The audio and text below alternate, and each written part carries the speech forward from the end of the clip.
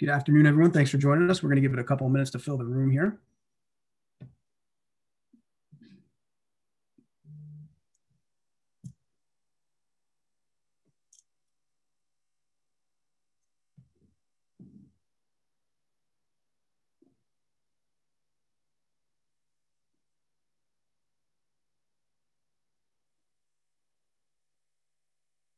Afternoon, everyone. We'll give it just another minute here to fill the room.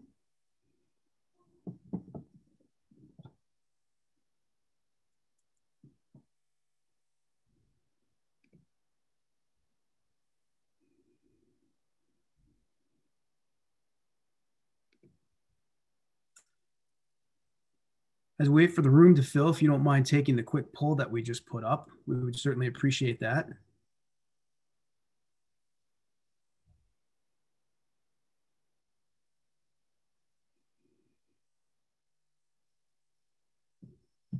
And we'll let this run for about 30 more seconds and get the room filled up and jump right in.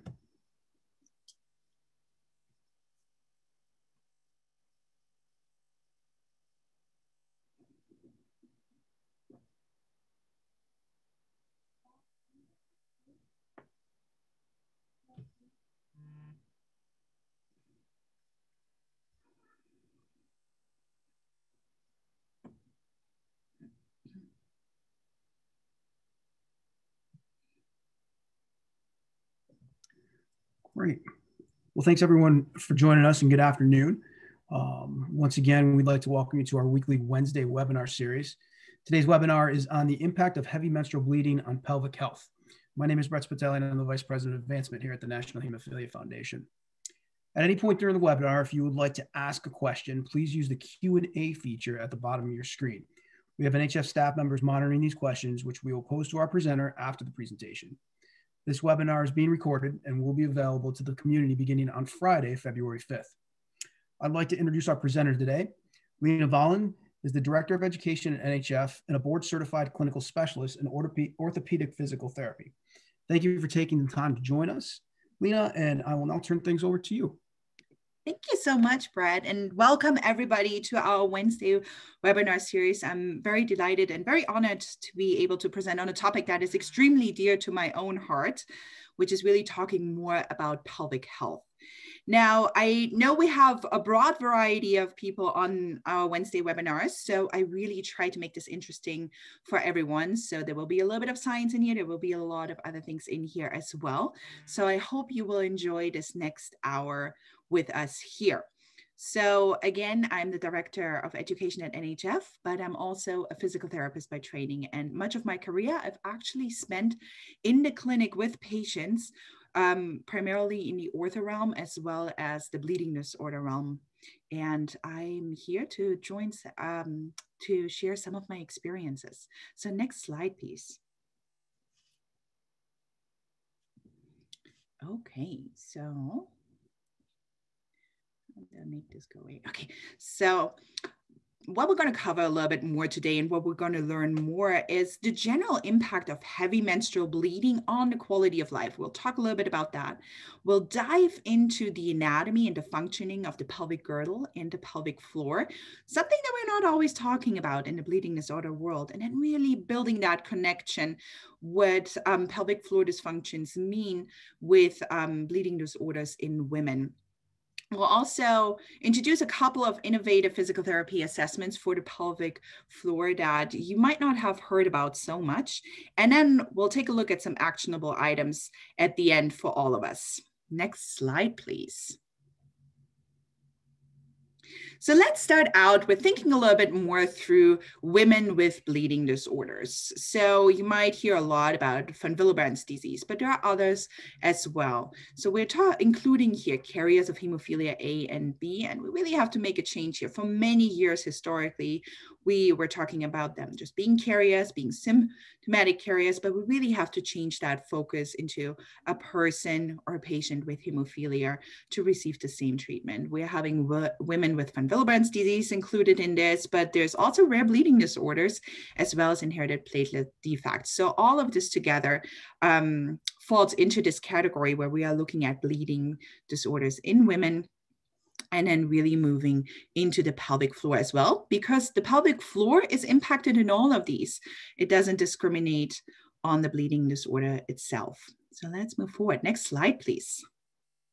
So, what is actually happening in women with bleeding disorders? What are some of the symptoms that we often see? And many of you are very familiar with these, but I just wanted to reiterate a couple of points here. So, we're seeing menorrhagia, so really that heavy, prolonged menstrual bleeding that happens on a monthly basis. And while we know that a lot of women who have a bleeding disorder experience this, we've also found that there are a lot of women within our general population who have menstrual bleeding and increased menstrual menstrual bleeding. So many of these actually do have an underlying bleeding disorder and they are not really aware of this.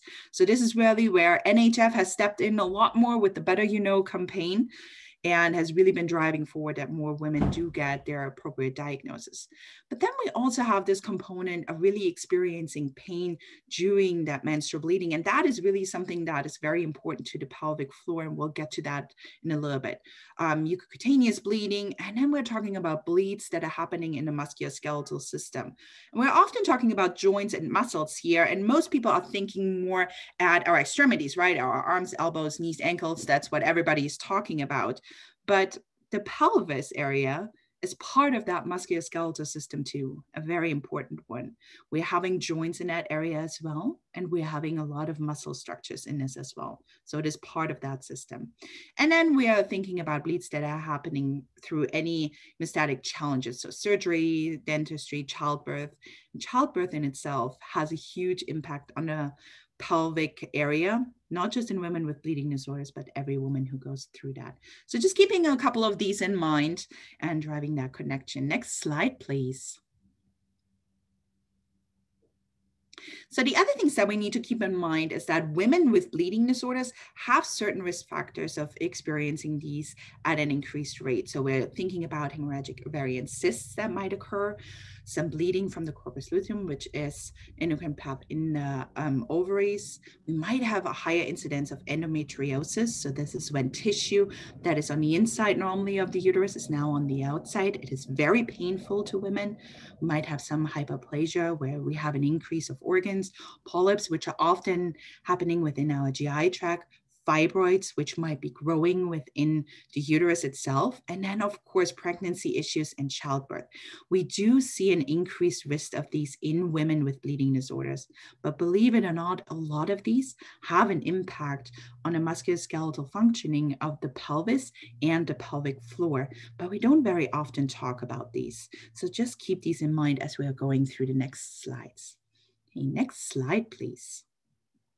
Okay, so one of the things that I mentioned in the very beginning is that we really have to take a closer look here at the quality of life in women with bleeding disorders. So there's a lot of research that has been done on this. Um, outside of our bleeding disorder world, but then also within our bleeding disorder world, which is a great start.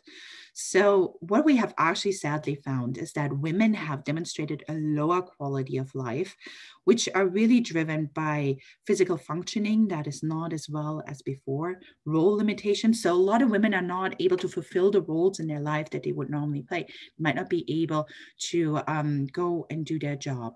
They might not be able and play as much with their children children as they would like to. They might not be able to do the sports and activities that they would like to. They are not unable to fulfill all the roles that they would normally have.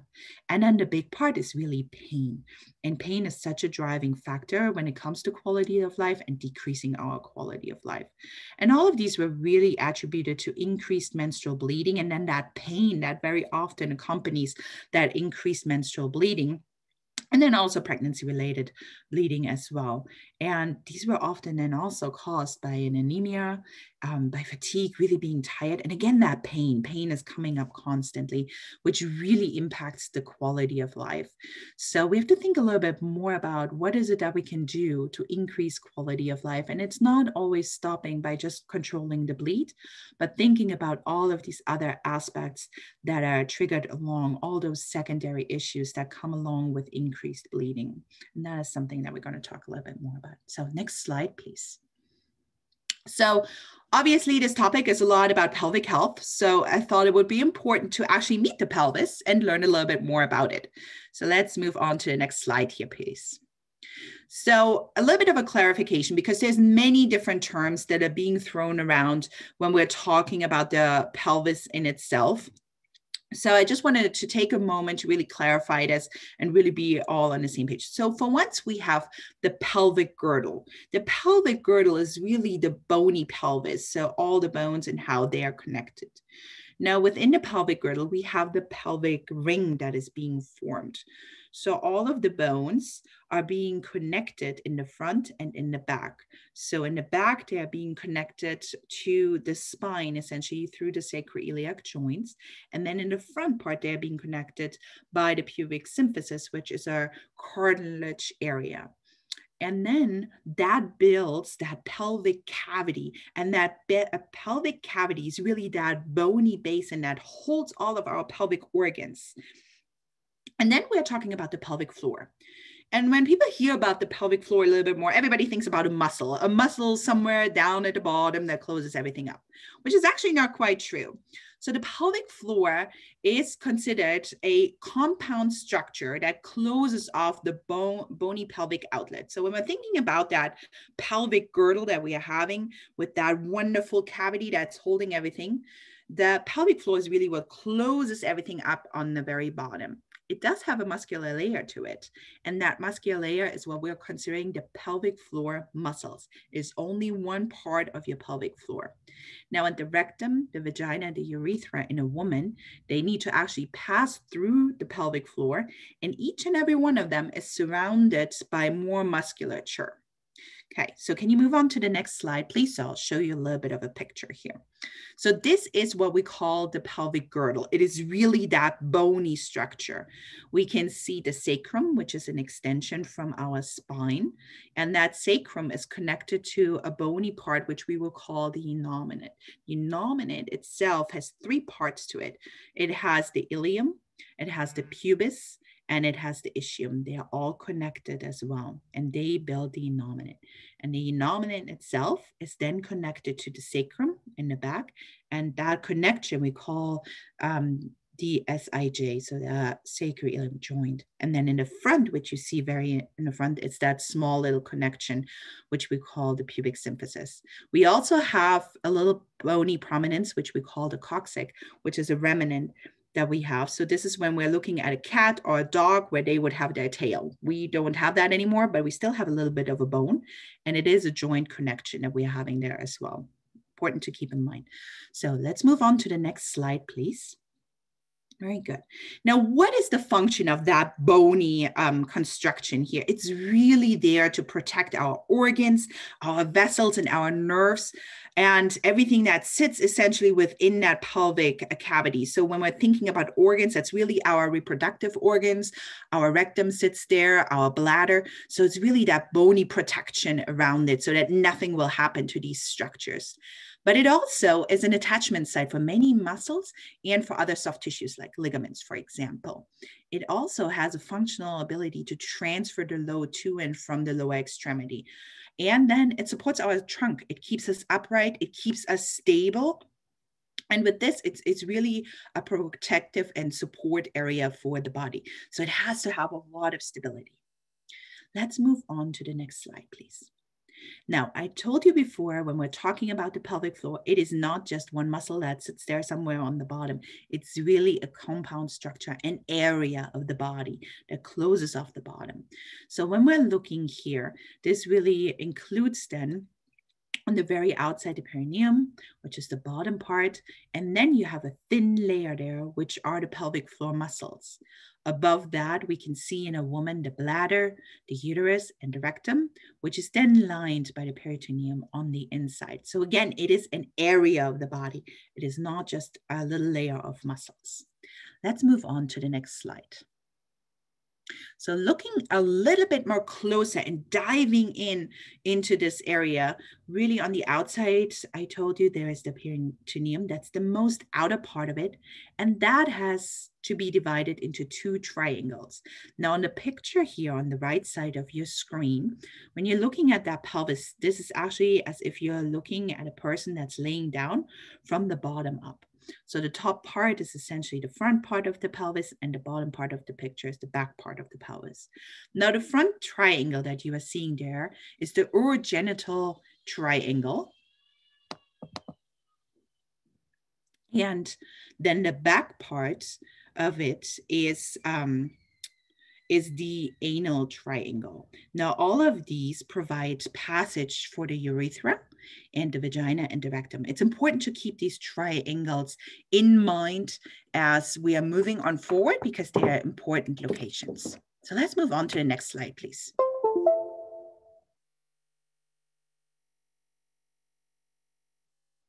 Okay, so again, that pelvic floor, as I told you, it's not just one muscle. It is a beautiful area that is actually very complex. So it does have different layers, and we're subdividing it into three layers. Now, we are also calling these pouches, and then the muscles themselves are different muscles within uh, each of these layers. I'm not going to go into great detail of depicting out each and every muscle because that would really extend this presentation by hours. So let me just explain to you there are three different layers that you really need to be aware of. The most outer layer, the superficial perineal pouch, holds the perineum that we just talked about.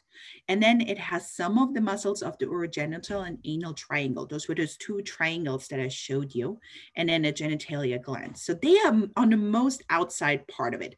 Then there's a second layer within um, the pelvic floor pouches. So that's the deep perineal pouch or also urogenital diaphragm, and this holds another layer of muscles. So these are the, the rest of the urogenital triangle muscles. And then there's a third layer. So the third layer is most on the inside. So this is the pelvic diaphragm, we call it. This holds the levator ani, and there are two muscles to this, which is really closing off your anus um, another muscle called the coccygeus, and then really the pelvic wall, which is the most inside part of it. And the pelvic wall is constructed of another muscle groups, so the piriformis and obturator internus, that's what they are called. And they build that connection from the pelvis to the hips and then into the lower extremities. Now, why is this important? Now, if you're having some issues in your hips, if either if your hip muscles are very weak or if they are very tight, that can actually influence the pelvic floor stability. Next slide, please. So what is really important here is to understand that this entire pelvic floor is not just one muscle, it's a whole complex structure. And we need this complex structure because it needs to fulfill different functions.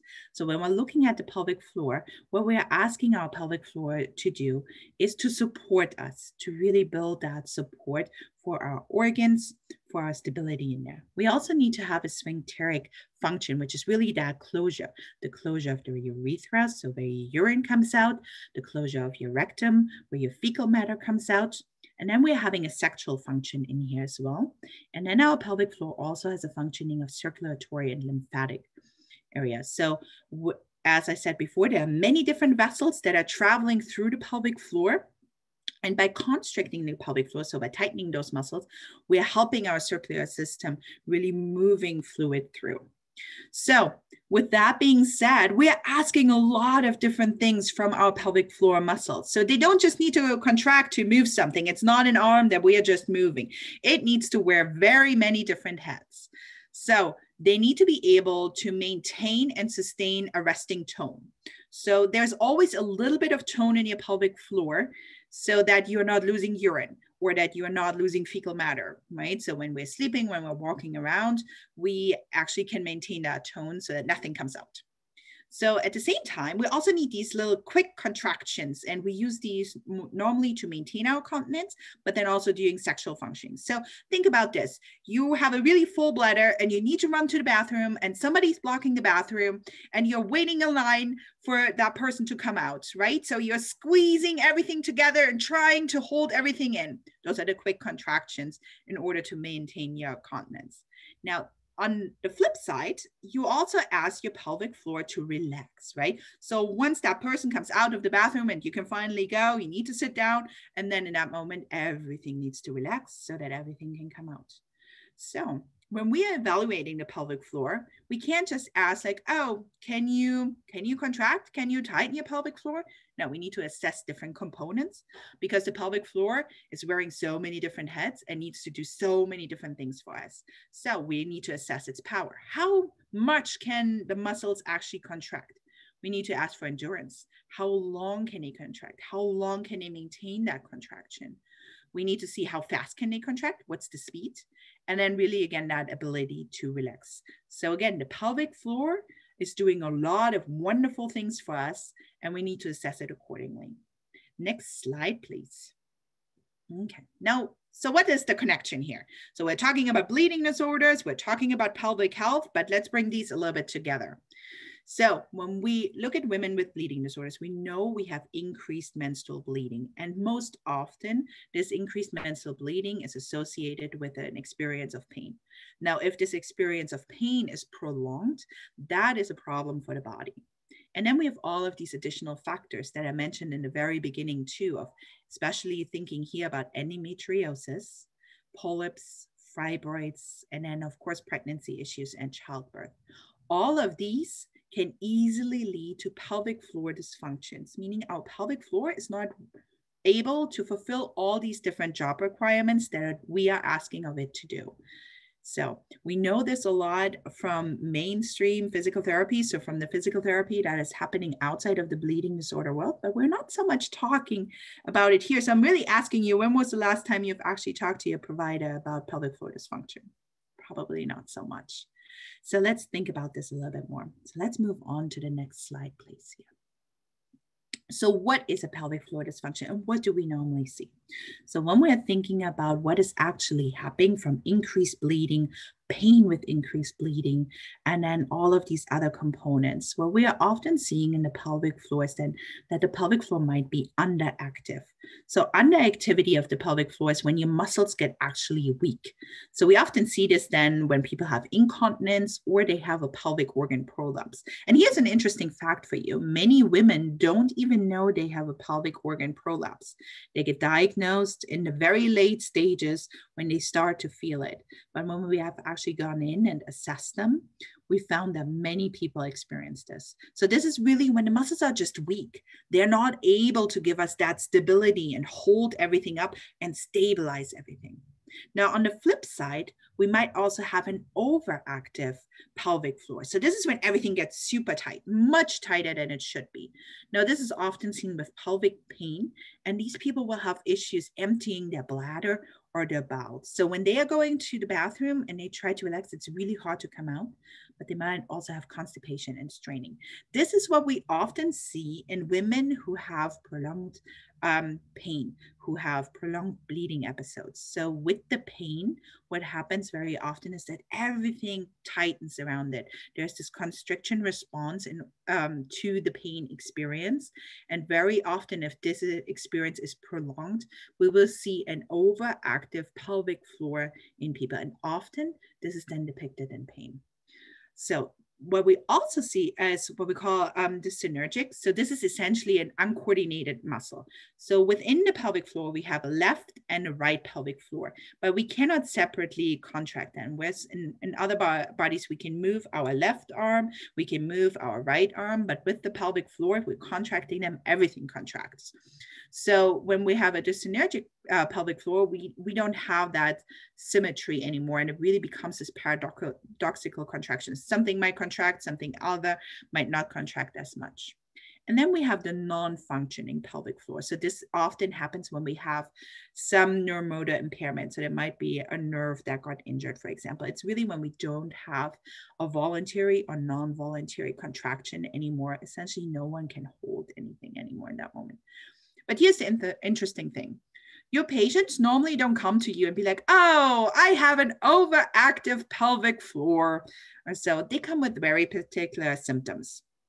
So most often, the patients that I have personally seen, they come actually in for musculoskeletal pain. So they are experiencing pain, and that pain might not even be in the pelvis. The most people that I have seen come through the door, they had mostly low back pain or they had hip pain. That's what they were sent in with. And then we would go in and do an um, assessment of them and find, okay, there's actually nothing really wrong with the low back or there's nothing really wrong with the hips, but it's really going into the pelvis.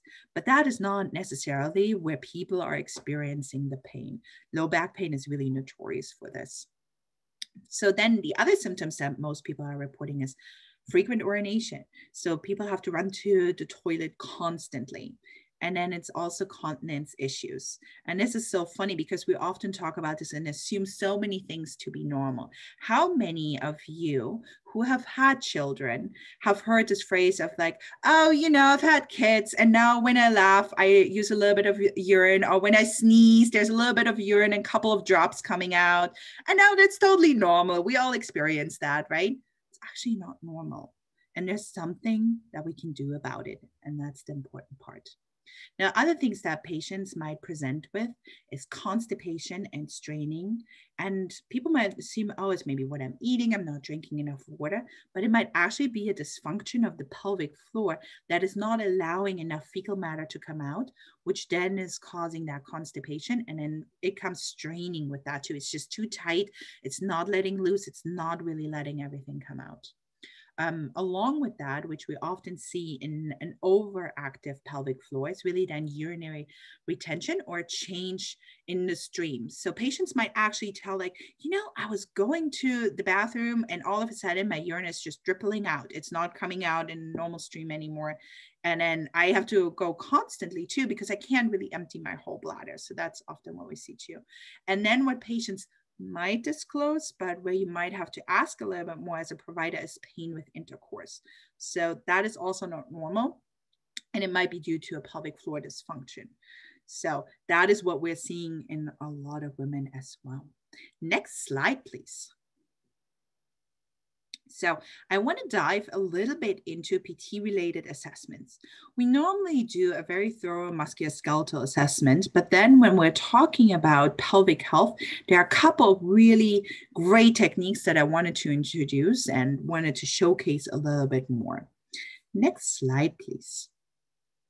So one of my personal loves, and, and for some of you who know this, is I, I have been very much involved with musculoskeletal ultrasound within the bleeding disorder world. But musculoskeletal ultrasound is not only used for that. There are many other techniques. And in the physical therapy that we are doing outside of the bleeding disorder world, we have used musculoskeletal ultrasound a lot in pelvic health for a long time. So one way we're using this now is really to get a little bit of a better idea of the muscle architecture and the ability or inability of the muscles to actually contract and then also the timing. We can all see that on the screen and the beautiful piece of MSKUS is that it's real time right? We can we can visualize it and then on the screen we can see whether or not somebody is actually contracting what we have also found in research is that it's much more specific in understanding that contraction and in an assessment of the pelvic floor con uh, contraction timing than a palpation and internal palpation will do. And we have two different ways of doing that.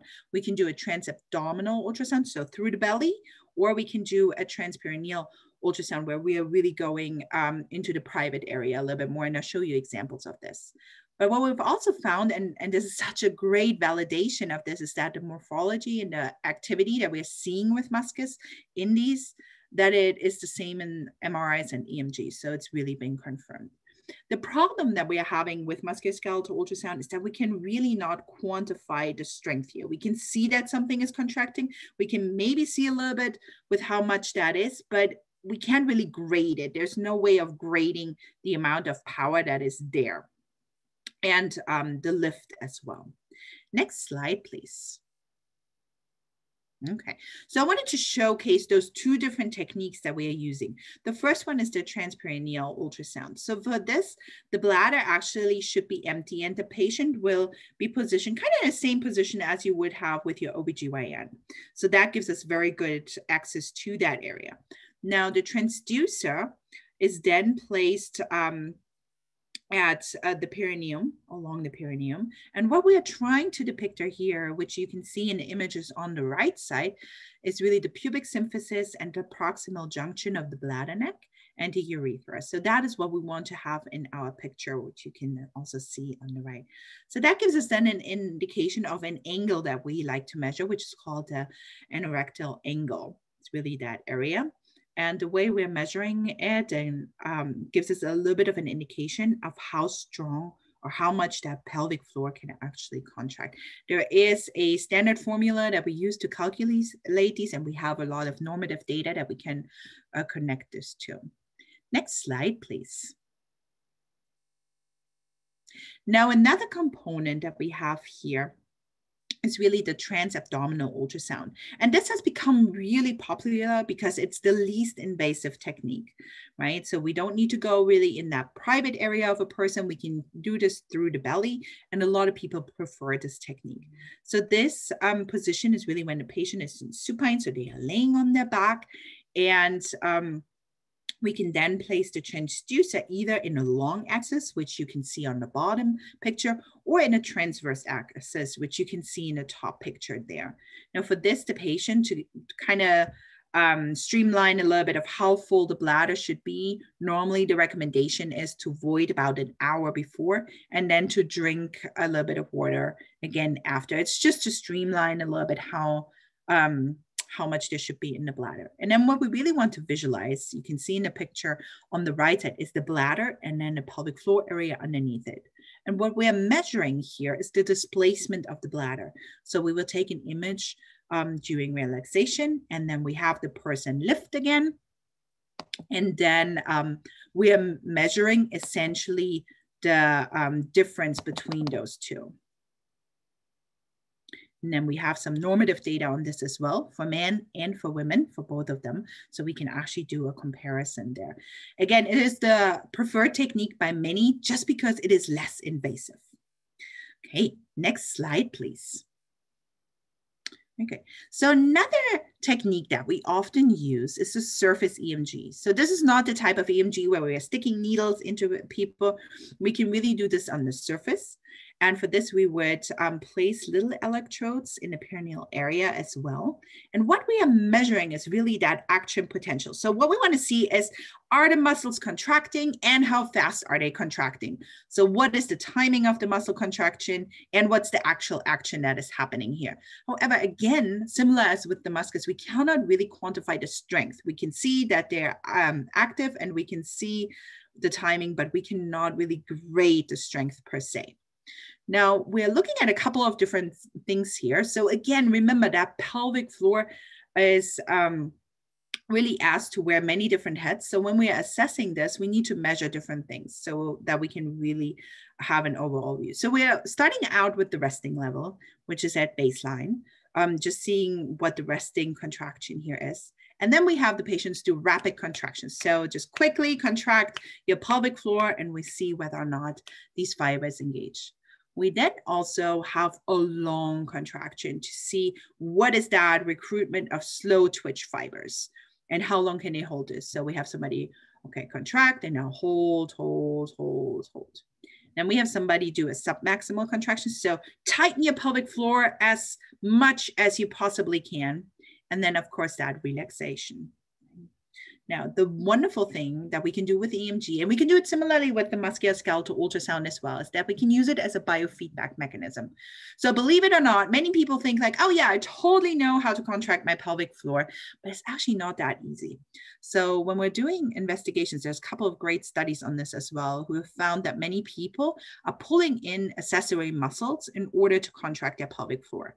So those accessory muscles are often our belly, our abdominals, our glutes, so our buttocks or our thighs that we are activating. So think again about that situation where you have a really full bladder and you're standing in front of that bathroom that somebody is blocking and you're just tightening everything. You're probably not just tightening your floor in that very moment. You will you will tense your buttocks, you will tense your belly and everything else that you possibly could recruit to hold that urine in, right? But when we're actually training the pelvic floor, we don't want all of those muscles to kick in as well. So this is where we can use these great techniques too to teach somebody this is really how you're contracting the floor. And we often put some imagery with this too. Like Think about an umbrella opening and closing. Think about a flower is what some people say. What I found too that helps a lot is a jellyfish, kind of that jellyfish image that you might have. So we use this for up training, so strengthening, for down training, relaxing, and then really that coordination training of like really contracting the muscles together. So this is one technique that we also use to give us a little bit more of a quantifiable understanding of how much the muscles um, really when they contract and if they are contracting. Next slide, please. So then what we are doing, which is um, kind of the last one in this here, is an internal exam. And this is where everybody gets like their big alarms and it's like, oh my God, what are you doing? Right. But it's not like a internal exam that you would expect from your OBGYN. It's not like a deep pelvic exam. We're really just palpating on the inside to feel a little bit more what the muscles feel like. What is their tone? It also gives us a good idea of testing sensation. So think back at the very beginning of this presentation where I said like, there might be some nerves that get damaged. So we can actually assess that with our sensation a little bit more too. And then we can also look a little bit more for symmetry. We can look for the volume of it. We can palpate for some trigger and tender points that we might have. So when I'm pushing on certain areas, does that actually hurt you? We can look if there are any restrictions within the tissue, look for sizes. And this also helps us to stage a little bit more the organ prolapse. So remember, a lot of women don't even know that they are experiencing a prolapse. And then it gives us a good indication to confirm the pelvic floor muscle contraction, that relaxation, and the upward lift displacement. So by feeling that, I can confirm what I might have seen with my other assessment um, things. Important part here, this should really be done by a PT who has undergone that appropriate professional training. It is an extension of our training that we receive in um, the university, but it really should be done by a pelvic PT who has undergone that appropriate education. Now, next slide, please. Okay, so this is the important part of what does that actually mean for you? Why is this topic important? And why are we spending a Wednesday webinar to actually talk about all of this, right? So it is a topic that doesn't get discussed that often. So when we're even looking in the literature that's out there, all the literature we have on pelvic health is really coming from other areas. It's not coming from within the bleeding or um, disorder world. So we haven't really looked at that. Now, the interesting part though is that the symptoms we are seeing in women with bleeding disorders are the same that we're seeing outside and in pelvic health. So why would not be the same issues here within our community that we see in other areas? And it's really time to think about this. And it's really time to start talking about this more. Next slide, please. So let's really start to take action. Let's take this as an opportunity to provide good holistic care and to open the conversation about these issues. So, very often, we don't really talk about things that are happening below the belly button. It is a taboo topic for many people, and it's time to talk more about this. So, for consumers, very often, if you're a patient, if you have a bleeding disorder and you think you are experiencing some symptoms of um, that you're experiencing more musculoskeletal pain, that you're experiencing some incontinence or having some issues with even being able to go to the bathroom, if you're experiencing any pain with intercourse, don't assume that is normal. Start talking about it with your provider. Start bringing these issues up because the beautiful part is there's also maybe something that can be done about this, but it's important that we actually start to have that conversation. So don't assume that your symptoms are normal and start to talk to your provider about this. Now, if you are a healthcare provider and you're working at a hemophilia treatment center or engaged with other patients, start that conversation too. Talk to your patients about pelvic health. It doesn't mean you're turning into an OBGYN, but it just means a little quick conversation of like, well, how are you doing? Are there any issues? And maybe ask about specific signs and symptoms about pelvic floor dysfunction. Most people don't even know they are having a pelvic floor dysfunction to begin with because they're showing up with different symptoms. Think back about what I said in the beginning of that many women are showing up to the clinic with low back pain, hip pain, pain somewhere else that they build not a connection to the pelvic floor. But at the end of the day, it is a pelvic floor dysfunction. Again, it doesn't mean that you're starting to treat this, it is just opening up the conversation. and then really connect with your physical therapist. Your physical therapist might not be trained in all of this. So then really make sure you can provide the appropriate referral. And that referral can pull in an OBGYN. It can pull in a PT that is trained in this. And it really needs to become this interdisciplinary team that is connecting different providers that can provide great care for this and can maybe improve some of the symptoms that you are experiencing. And then it's really a call to action to research too. As I said before, there isn't really a lot out there, but yet we have those symptoms that we know cause certain pelvic health issues um, outside of the bleeding disorder world. So they will cause the same inside the bleeding disorder world. So it would be great to collect some more data on this, look at the epidemiology, and then really look at all the different techniques and treatments that we have um, and how they would actually help our women with bleeding disorders and their experiences. So, very easily, there can be um, some great tools, some great techniques that can help you feel a little bit more better and improve your pain experience and improve your overall quality of life. Next slide, please. So there are a couple of resources that we have for diagnosed women with um, bleeding disorders. So really make sure you take a look at these as well. So one is our NHF Victory for Women. We have our Steps for Living, and we are actually in the process of really updating this as well. There's also the Foundation for Women and Girls with Bleeding Disorders. And then, as I've mentioned before, we have this large campaign to really um, drive people who have not been diagnosed with bleeding disorders to receiving their appropriate diagnosis, and then even more so, receiving the treatment that they deserve that will increase their quality of life. Next slide, please.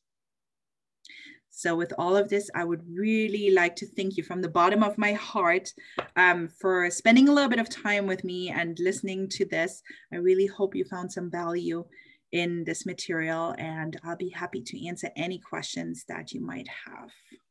Great. Thanks so much, Lena. We do have uh, a few questions that that came in. And I think there's some really good ones. This has been a, a lot of information, so I'm excited to, to ask these of you. Um, first question comes in. How do we gain evidence or data to support physio, physio and PT care for pelvic health and get this published, knowing there is a huge gap in articles and information in this area? Yeah, I think that is a, a, really great question. So, the interesting part is we do have a lot of data and published articles on physical therapy for pelvic health. So, just as a background, um, within the physical therapy world, we have different areas that we focus on. So there's orthopedics, there's acute care, and so forth. And one of those areas is pelvic health. So it is a specialty within physical therapy that's evidence based driven. So there's a lot of um, research that has been published uh, over many, many years on the efficacy, effectiveness of the treatment of physical therapy for pelvic health. So it's all there. Um, we haven't really done that in the bleeding disorder world. And this is where my last slide really came in here, that that is something we need to look more into. So if anybody out there is interested in partnering with me or really getting some ideas, let me know.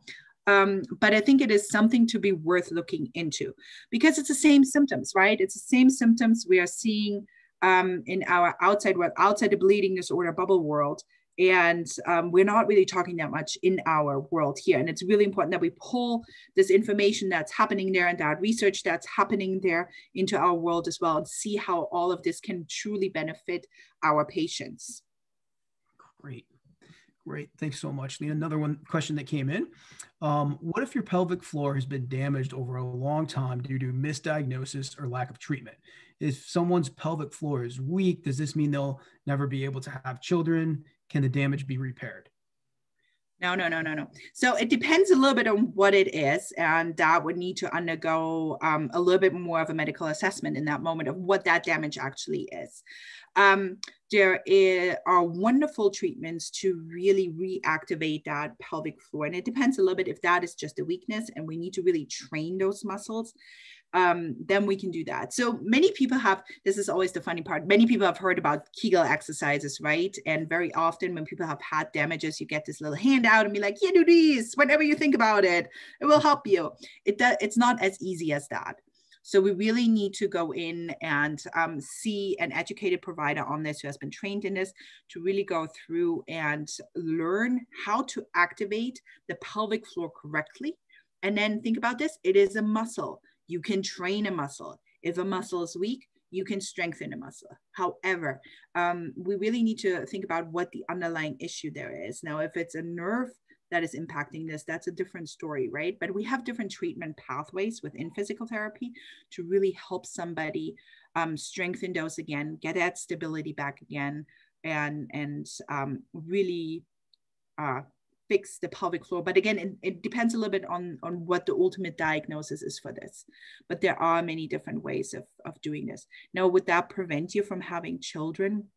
Mm, no um, normally not. You can you can still have children even with a weakened uh, pelvic floor, and most people have without even knowing. So as I said before, there's so many people that are running around and walking around with a weakened pelvic floor, and many of them have children too. Or think about the people who have had a child have had some pelvic floor damage and then they have more children thereafter. It shouldn't really prevent you from it.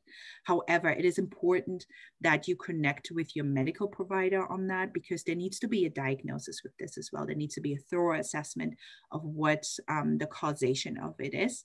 And then it needs to be investigated of what the best path for fixing the pelvic floor is. Great. Thanks, Lena. Next question comes in do you see some of these symptoms in adolescent girls with heavy menstrual cycles?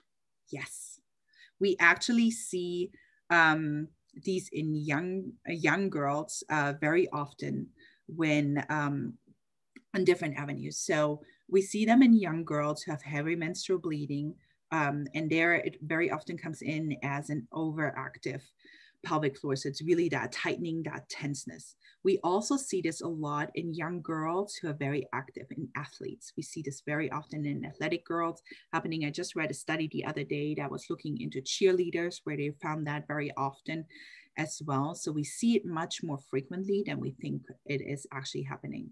As a little caveat, we have seen pelvic floor dysfunction even in children. So there's often an underlying condition there, but we see pelvic floor functioning even to be a problem in young kids as well. Great. Um, here's a great question, know, and I think um, you'll be able to shed some light on for us. Um, so many of us women with bleeding disorders, and even those without bleeding disorders, think that bladder leakage is normal. And mm-hmm. while we while we all talk and joke sometimes to our friends about it, how do we talk to our providers about it? They aren't yeah. they aren't bringing them bringing these questions up in office visits. And can we ask for a referral to a physical therapy, or is this a specialist field? Yeah. So let me tell you this first. Thank you so much for bringing up this question because this is something that so many people say, right? We're sitting together, we're joking around. It's like, oh, yeah, I just sneezed and there's a little bit of urine that comes out. We often hear that, especially from women who have had children. It's like, oh, yeah, my pelvic floor got really weak too after I've had two kids. And now whenever I laugh or sneeze, there's a little bit of urine coming out or a lot of urine coming out. And, and we all think because everybody or so many people in our field have that same experience, we automatically assume that's normal, right? It's not normal. It isn't, right? And there's something that we can do about this. Now, this brings me then to the second part of your question is really how do we talk about this? So I think a first step is really when you're talking to, um, let's say you are having your appointment with your hematology provider, bring that symptom up and talk to them about it. Say, I'm having a lot of urine leakage. Is there something um, that I should see somebody about. They might uh, send you on to an OBGYN. So this is also something that you can bring up at your OBGYN um, annual exam whenever you have an appointment about this. And um, what they will often do then is to refer you over to a pelvic health physical therapist. So this is a specialty in itself. It's not your normal standard outpatient PT practice. It is a uh, PT that is specialized in this, and they can do then the assessment of where that is coming from and um, what is actually actually happening with the pelvic floor. Now they have actually revised a lot of the guidelines within um, uh, gynecology OBGYN area where they have to refer out to a physical therapist first as a non or non-surgical intervention. So um, that would be your your best first step. But I think the most important part is to start talking about it. And this is always the issue comes up because we don't talk about it because we assume it's normal. And then very often we talk to those people that are close about it because it's that conversation about an area that is below the belly button. So who do we normally talk to this about? We talk to our our mothers, our aunts, maybe a sister, maybe a very close friend, and they might actually have exactly the same situation. As you said, we are sitting all around and we are talking about the same thing, and everybody is having the same. So the assumption is that it's normal. But I think the first step is really to start the conversation. If um, and to to really bring that issue up and bring the symptom up and um, to stand your ground that this is not normal and i've heard that i can do something about this and i want to do something about this and there are different ways you can take from there. Yeah. thanks lena. Another question comes in. Can bleeding disorders cause pelvic floor dysfunction or is the dysfunction present and made worse by a bleeding disorder? Both. So it depends it depends right? It's this it depends answer that's um, never really black and white. It depends on the person and what they are going through. Now let's say you're a person with a bleeding disorder that has very heavy menstrual bleeding and a lot of pain associated with it and all of that can then really disrupt the pelvic floor and cause a pelvic floor dysfunction.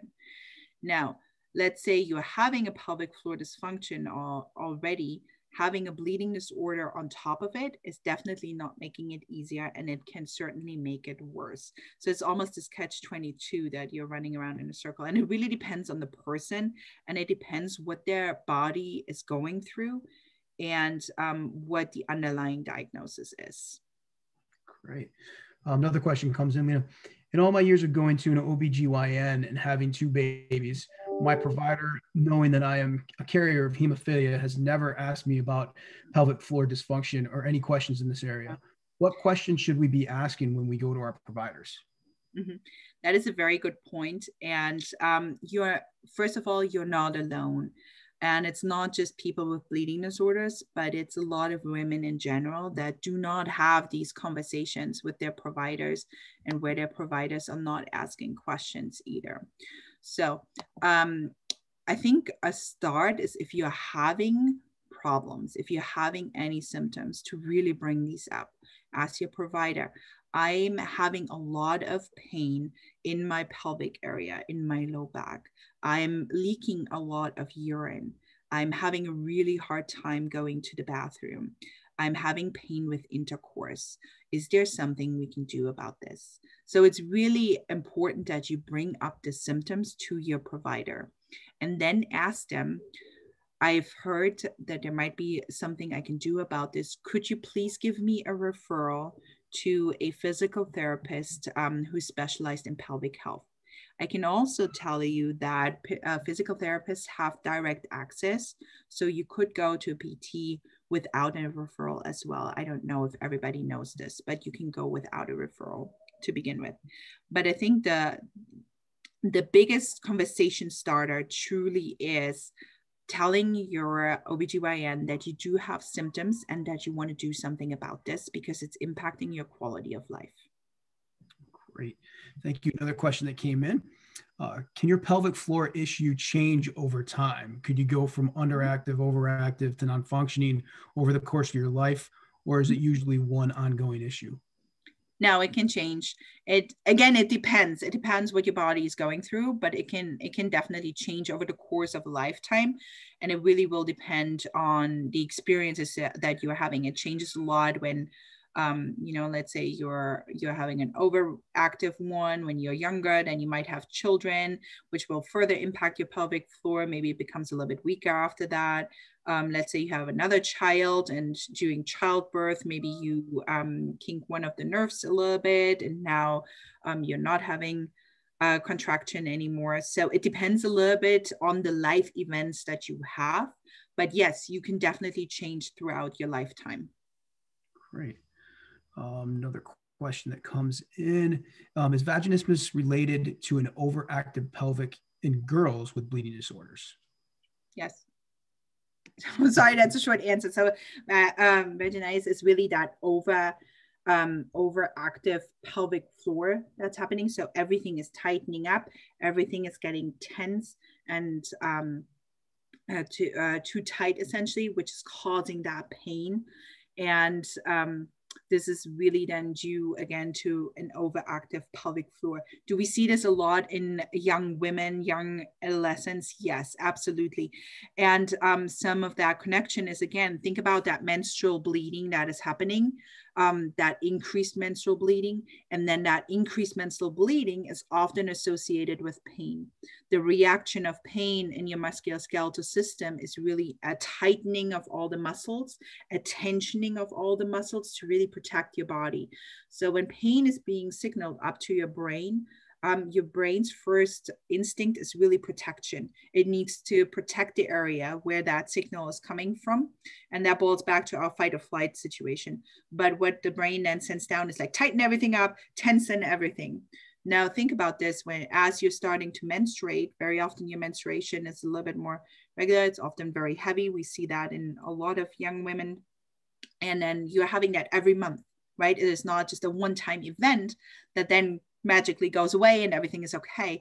It is a monthly occurrence. So monthly occurrence with like heavy prolonged bleeding, heavy prolonged pain associated with it, heavy prolonged signals from the pelvic area to the brain that there is a lot of things going on and a lot of pain is being signaled back a lot of tension is getting signaled back at some point in time the pelvic floor will just stay tightened it will just stay tensed up and that is really what's leading to that overactive um, pelvic floor in that moment. And that can cause that pain a lot in young women then as well. And as I said earlier, we don't just see that in women with bleeding disorders, but we see that in young women in general, also with young women who are very athletic, who are involved in a lot of sports.